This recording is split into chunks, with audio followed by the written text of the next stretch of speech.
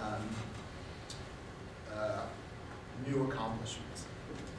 Uh, so think about how nurturing your resentment Nietzsche thinks of as a kind of poison that the weak hold, whereas the noble are able to, do you remember, I, I emphasized to you that the noble do feel resentment when they're hurt, because not, we're not all omnipotent. We can't always accomplish what we want. Other people do hurt us.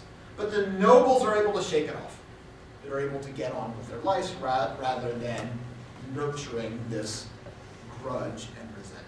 And that's the active power of forgetfulness that he's talking about here.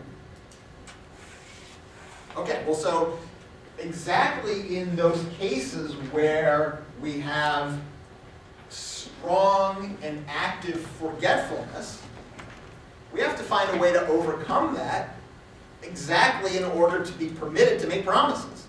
It's exactly that strength of forgetfulness which means that so far, we're not able to commit to carrying out what we've uh, committed to. Um, so the end of that first page. Precisely this necessarily forgetful animal in whom forgetting represents a force, a form of strong health, has now bred in itself an opposite faculty, a memory, with whose help forgetfulness is disconnected in certain cases, namely, for those cases where a promise is to be made. It's thus by no means simply a passive, no longer being able to get rid of the impression once it's been inscribed, not simply indigestion from a once pledged word over which one cannot regain control, but rather an active, no longer wanting to get rid of a willing on, on and on of something one has once willed, a true memory of the will, so that a world of new strange things, circumstances, even new acts of the will may be placed without reservation between the original I want, I will do, and the actual discharge of the will, its act, without this long chain of the will breaking. What's the long chain of the will that he's talking about here? What's the long memory of the will? Why does the will have to be long? What does it have to leap over?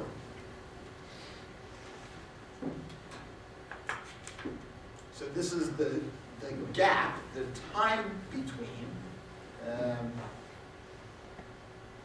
I want, I will do, and the actual discharge of the will, its act. There's a gap between those. In that gap, you have to hold on to that will and not forget it. Yeah, so what is the gap? I mean, what is the start point? What's the end point? What's, what's going on? You need a time out, you can make a promise one day, Right. You make a promise and say, I will do this, and then what happens? then a week later it goes by, and then have to fulfill that promise. That's right. Good, so all the things that happen throughout that week. Exactly right. So the gap is between the commitment and actually carrying out the act. Right? So I commit to doing something, I promise. And you have to hold on to that will. You have to hold on to that commitment despite the fact that in the interim period between the time that you commit to the thing and the time you discharge that act, there have been lots of changes in the world. Circumstances have changed. Your own desires may have changed. And still you have to not forget your commitment. You have to um, hold fast to the original act of willing, even in the world even, even though there's a world of new strange things and circumstances and even new acts of the will. Right, so the problem here is precisely to hold on to that earlier commitment in the face of the active forget, forgetfulness that's required in general for psychic health. Okay. Uh, the end of section one then. In order to have this kind of command over the future in advance, right, in order to be able to get ourselves in the future to do something that we're committing ourselves to now, in order to have this kind of command over the future in advance, man must first have learned to separate the necessary from the accidental occurrence, to think causally, to see and anticipate what is distant as if it were present, to fix with certainty what is end, what is means thereto, in general to be able to reckon, to calculate. For this, man himself must first of all have to become calculable, regular, necessary, in his own image of himself as well, in order to be able to vouch for himself as future, as one who promises does. Okay, so um, we have to be become calculable, regular, necessary in order for us to be able to commit to us doing something in the future now. Okay, so the question is, how did that happen? How did we become calculable, regular, necessary, so that we're able to commit to and act in the future? Section 2.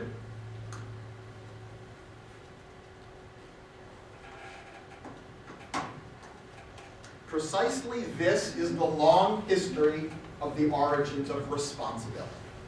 So the story that he's about to tell about the origin of responsibility is how we became regular, how we became predictable, how we became calculable, how we put ourselves in the position to be able to vouch for our future wills. As we've already grasped, the task of breeding an animal that is permitted to promise includes, as condition and preparation, more specific task, first make, of first making man to a certain degree necessary uniform, like among like, regular, and accordingly predictable. So how did that happen? Well, he says, this work was done for the most part over a very long period of time, over our, he calls it our prehistory, and this was most of the time over um, human existence. Um, let me say again, Nietzsche thinks that this accomplished a great deal in making us regular and predictable and calculable, gave us the capacity to commit ourselves to future acts, giving us the, as it were, permission or right to make promise. So this is a great accomplishment that took eons and eons in the prehistory of human existence. Of course, this prehistory, making us regular, making us calculable, um, this was also something that was, he says,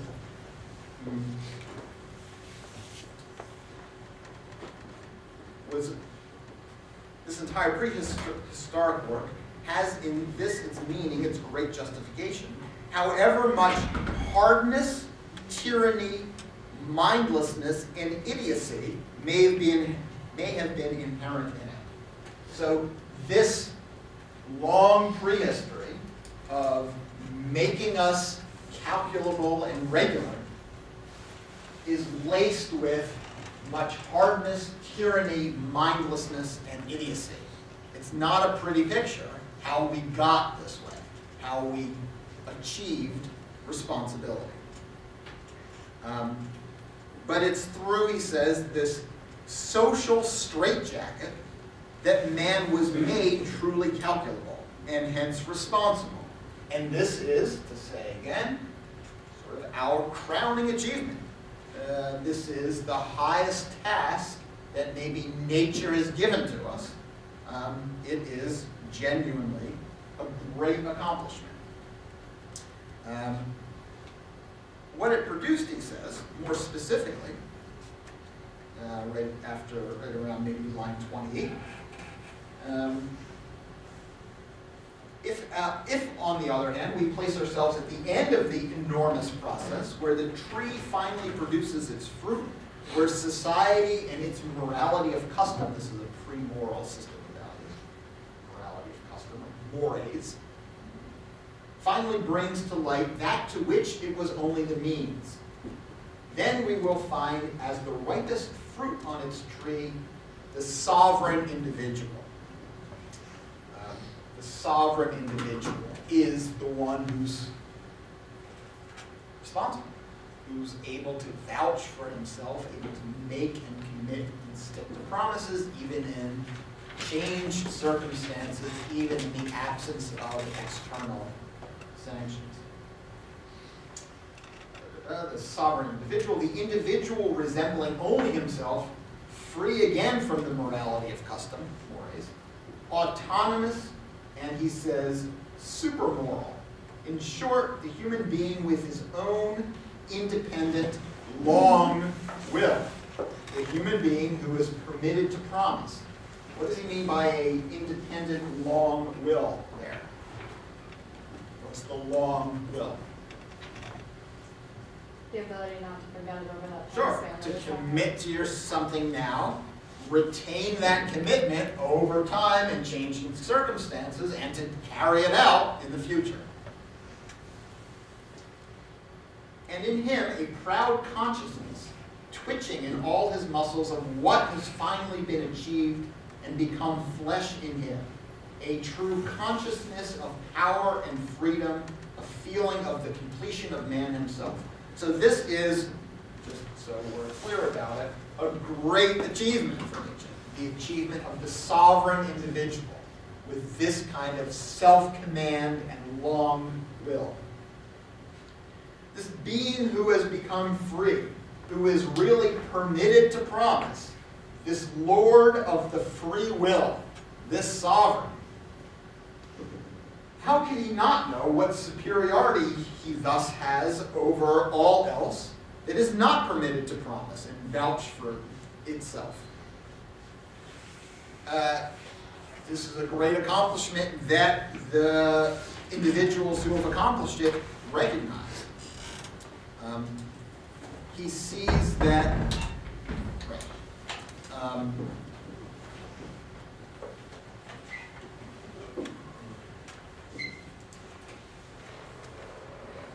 actually, let me continue. Um, so he's vowed the person who has achieved this recognizes his own elevation and um, value above creatures that don't have such a long will, that are not sovereign individuals, that are not responsible. Those, so, so what would I don't want you to name any names, but I want you to describe such an individual who's not a sovereign individual in this sense. Describe what that human being or whatever would be like. They would probably lie. What? They would lie? Lie. Yeah, so maybe they would like say the words, I promise, but then what would happen? They wouldn't follow through. They wouldn't follow through or not. So they're not capable, they don't have a long will. What does that mean? So they say, yeah, yeah, yeah, I promise, I'll do this next week. And then what happens next week? They don't do it. They don't do it. Why not? They forget. Yeah, so it's so they forget in a certain sense, but like you could remind them, and then what would happen? They're still wouldn't do They still wouldn't do it. Why not? What's going on there? So I said that the sovereign individual, one who's responsible, one who's permitted to make promises, in the future may have, there may be new circumstances, new desires, new inclinations, that the sovereign, responsible individual overcomes. This is a kind of self-discipline that's required here. They have no self-discipline. They have no self-discipline, exactly right. So the lower creatures who are not sovereign individuals, not permitted to make a promise are going to blather on about what they claim